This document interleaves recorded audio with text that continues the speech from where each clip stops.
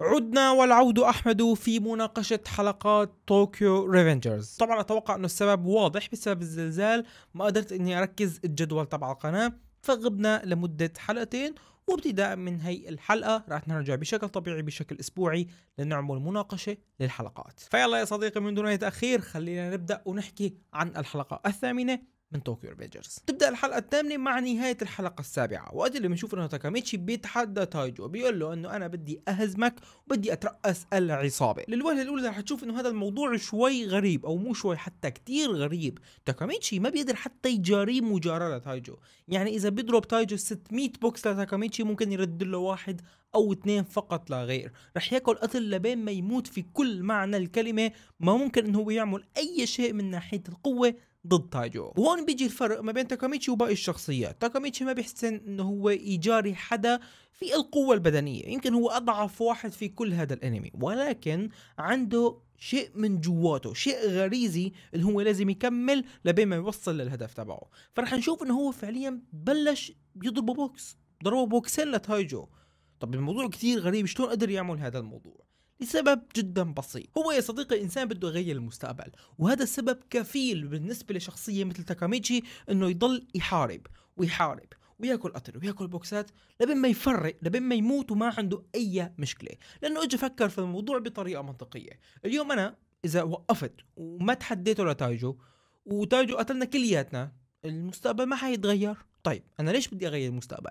عندي كتير أهداف لحتى هذا المستقبل يتغير واحدة منها إنه أنا كنت وحيد في المستقبل أنا إنسان لحالي ما عندي رفيق ما عندي حبيب ما عندي أي حد أنا إنسان معزول تماما عن الواقع إنسان فاشل بحياتي. فأنا اليوم إذا كمان فشلت في هزيمة تايجو المستقبل ما حيتغير راح أضل فاشل راح أضل وحيد. ما حيصير أي شيء من الأشياء اللي أنا عم بسعى لها فبالتالي تفكيره لتاكاميتشي إنه أنا موجود في هذا المكان موجود بهي اللحظة. الأمور قالت إنه نحن نكون في هي اللحظة بسبب الشيء اللي أنا عملته بسبب إني أنا ما خليت هاكاي يقتل تايجو. فبالتالي من المفترض إنه أنا أعمل شيء معين أعمل شيء معين لحتى أغير المستقبل وأكمل بهذا الطريق. فرح نشوف إنه تايجو رح يضربه ويضربه ويضربه ومع ذلك تاكاميتشي رح يضل واقف ورح يكمل لآخر نفس مثل ما بيقولوا. وهذا الموضوع يا صديقي اللي رح يأثر بشكل كتير كتير كبير بشخصية هاكاي في النص الثاني من الحلقة تقريبا. وبما إنه ذكرنا هاكاي فخلينا نحكي عن ال twist اللي عجبني يلي فاجأني اللي خلاني أقول إنه okay هذا هو السبب يلي بيفسر لي ليش هاكاي. من الحلقة السادسة كان واقف ما عم بيعمل أي شيء جامد بطريقة ما هي طبيعية. وبالذات إنه في الحلقة السادسة تايجو بيقول إنه في سر معين أنت ما بتحكيه. هذا السر تفسر في هذا المشهد تفسر في تأثير شخصية تاكاميتشي على هاكاي. وبالأخير وقت اللي شفنا هذا ال twist عرفنا كل شيء تفسر كل شيء وصار كل شيء منطقي بالنسبة لنا كمشاهدين. ال twist كان وباختصار شديد إنه هاكاي نحن بنعرف إنه هو اللي كان يحميها ليوزوها دائما وهو فعليا اللي تأثر من ميتسويا. هو الإنسان يلي إنه أنا دائما باكل قتل عن يوزوها أنا اللي لازم أدافع عنها وإلى آخره. ولكن ال twist كان إنه مو هو اللي عم بيحمي يوزوها إنما يوزوها هي اللي عم تحميه. هي اللي كانت عم تاكل القتل ضعفين. تايجو كان عم يضرب يوزوها مرتين بدل ما يضربهم واحد بواحد. يعني كل شيء كان عم بيحكيه هاكاي. من أول الموسم الثاني لهي الحلقة كله ممكن انت تعكسه ما بينه وما بين شخصية يوزوها وهون كان ال twist الجميل المفاجئ. فهذا الشيء يلي بيفسر الكثير من الأشياء. فمثلا وقت اللي يوزوها هي اللي أخذت السكينة وقالت إنه أنا بدي أحمي عائلتي. الجملة هي كانت غريبة. أنا ما عملت مراجعة على الموضوع لو عمل كنت رح أحكي عن هي الجملة تحديدا.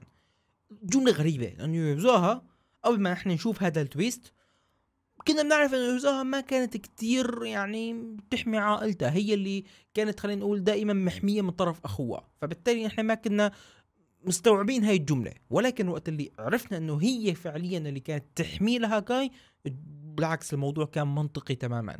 وفكرة إنه هي وصلت. وكيساكي هو اللي حرض إنه هي تجي على هذا المكان وإجت من دون ما تفكر ابدا. اخذت السكينة وكانت بدها تقتل أخوها بس لحتى فعليا تحمي. هاكاي الموضوع كان جميل الموضوع كان منطقي. اتفسر خلينا نقول طبعا ما ننسى يا صديقي إنه سبب وصولنا لهي النقطة إنه فعليا تاكاميتشي ضل عم بيحاول وبيحاول وبيحاول من دون لا كلل ولا ملل. ممكن هذا الموضوع كان يوصله إنه هو يموت ومع ذلك ضل عم بيحاول إنه هو يضرب ولو بوكس واحد ل تايجو. فهي اللي بيصير إنه هاكاي ما بيتحمل. في شيء من جواته بيخليه يعترف في هذا الموضوع ويعطينا هذا ال twist الجميل. فبنشوف إنه في شيء جواته تحرر. اليوم الإنسان أول ما يعيش شيء معين أو يعيش كذبة معينة أو يكون في جواته شيء معين ما بيحسن يطالعه للعلن مشاعر معينة مكبوتة جوات الإنسان. هذا الموضوع انعطى أو أو انعكس في الانمي عن طريق شخصية هاكاي بطريقة صراحة ممتازة وهذا الموضوع خذوه شوفوه على أرض الواقع. أنت اليوم كإنسان وقت تشعر بالغضب تشعر بالفرح تشعر بالحزن تشعر بأي مشاعر معينة بأي عواطف وتكبت جواتك ما تطالعها أول يوم وثاني يوم أول شهر وثاني شهر أول سنة ممكن وحتى ثاني سنة. رح تجيك لحظة من اللحظات رح تنفجر فيها. هذا الانفجار هو اللي رح يريحك. رح توصل لمرحلة من المراحل إنك أنت مانك متحمل ومانك طايق حالك لأنه في مشاعر جواتك أنت ما بتطالع في شيء مكبوت جواتك. أول ما تطالع هاي المشاعر رح ترتاح فورا. هذا الشيء بالضبط اللي صار مع هاكاي. طوال الثلاث حلقات نحن وجودنا في هاي المعركة اللي عم بتصير هاكاي كان ما بيحسن يعمل أي شيء جامد بأرضه. أول ما اعترف في كل هذا الموضوع وطالع كل شيء جواته وكشف كل الحقيقة ارتاح. ارتاح لدرجة أنه هو قام بده يقتل فعليا تايجو. قام وشلح الجاكيت اللي كان لابسه أو أو الزي تبع العصابة وقت اللي شلحه هو فعليا okay شلح الجاكيت ولكن شلح الهم أو شلح ال ال ال الكبت اللي كان موجود شاله كله وقال أنا لحالي رح أرجع هاكاي صح هاكاي الإنسان المزبوط. وطبعا إضافة لهذا المشهد كان في عنا كمان نقطة صراحة جميلة جدا واللي هي فكرة أنه اليوم أنت كشخص وقت تعمل خطأ معين. إذا نحن اليوم عملنا خطأ والناس ما سامحونا أو عملنا خطأ والناس كلها خلص طلعت عليك إنك أنت عملت هذا الخطأ فخلص نحط عليك إكس مثل ما بيقولوا. لا يا جماعة لأنه اليوم إذا أنت عملت خطأ وأنا حاسبتك عليه وكل خطأ رح تعمله رح أحاسبك عليه ما بمشي الحال. اليوم إذا الرفيق ورفيقه اتقتلوا بين بعضهم وعملوا أخطاء على بعضهم واحد غلط على الثاني إذا ما مشوا وما سامحوا بعض ما حيضل الرفقة موجودة. نفس الشيء الأخوة وقت أنا وأخوي نتقتل مع بعض بالأخير رح أسامحه رح يسامحني رح أغفر له ويغفر لي لأنه غير هيك رح نصير أعداء. فبالتالي هي النقطة يلي شفنا ميتسويا وتاكاميتشي عم بيحكوا فيها إنه أنت يا هاكاي صح غلطت لكن خلص غلطت ومشي الحق. وبعدين خلص يعني إيش بنعمل هلا؟ نقول لك مثلا؟ غلطت ومشي الحال خلص خلينا نصلح هذا الغلط ونصحح الأمور. فهي صديقي كانت واحدة من النقاط الجميلة جدا كمان اللي انطرحت من هي الحلقة. طبعا هذا الكلام يا صديقي اللي حكيته كله فيما يخص الأفكار اللي كانت موجودة في الحلقة. أما فيما يخص الأحداث أنت وعم تتفرج على الحلقة طول الوقت أنت يعني عندك موقن تماما إنه من المستحيل تايجو يخسر.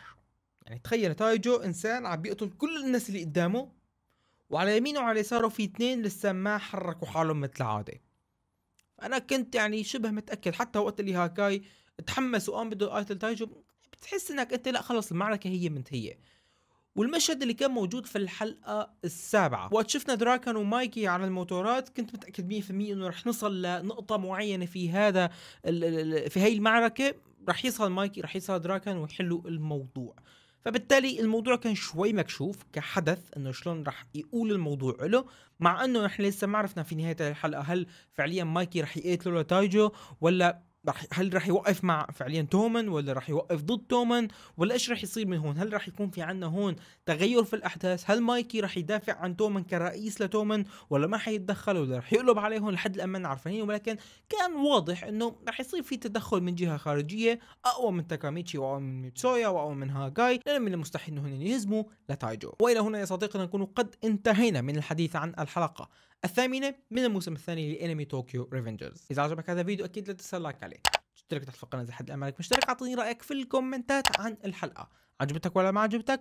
وقل لي يعني يا أهلا وسهلا بك واهلا بعودتك حللت أهلا ووطئت سهلا. خلاص اكتب لي أي شيء. ما, ما بتفرق. إيش بدك تكتب لي. المهم اكتب لي أي شيء في الكومنتات. خلينا نتناقش مع بعض آه، فيما يخص الحلقة. نشوفكم أكيد الفيديو القادم. السلام عليكم.